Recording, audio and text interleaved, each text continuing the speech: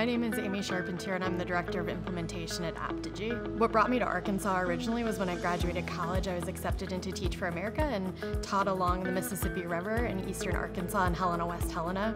When I finished my two-year commitment, I left to go to grad school at the University of North Carolina and then chose to come back to Arkansas because I really loved the people around me and the community I was in right after college. When I moved in November 2020, it was kind of a goal to think, look at housing and things like that. And in November 2021, I did buy a house here in Little Rock, right? It has all the amenities you could expect, solar power, just all of the things people are looking for. And I pay less in a mortgage than I would pay in rent in a bigger city. When I moved to Little Rock, I was looking for a, the feel of a big city life, but without all the expenses and the driving that would come with, you know, in New York City or in LA. And so I live just south of downtown Little Rock, and within walking distance of my house are restaurants, gift shops, all kinds of things that make it really easy and accessible to go out to dinner, to see a play with friends, to see the waterfront, um, all kinds of things that keep me entertained when I'm not here at work. I work at Apptegy, and it's a company that helps schools communicate better with their families and their school community. And I think one of the things that drew me here was the opportunity to work in a tech startup in the middle of Arkansas.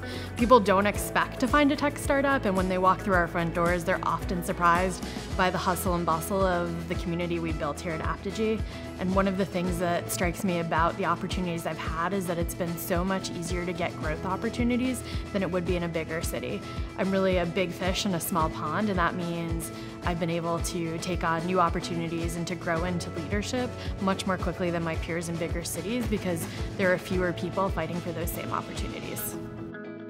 So I love the outdoors. In particular, I learned to kayak on the Mississippi River and on the Kings River and in Glenwood, and really love the opportunity and how easy it is to get outdoors.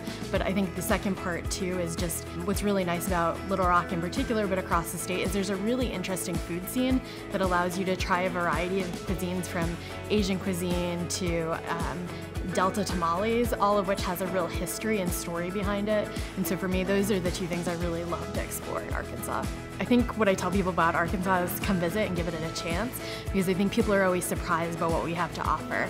So when I tell my friends to come visit who live in other states, I think once they see Little Rock and they go to the northwest corner of the state and visit Crystal Bridges and then go canoeing out on the Mississippi River, it's a whole different world that they just never expected to fall in love with.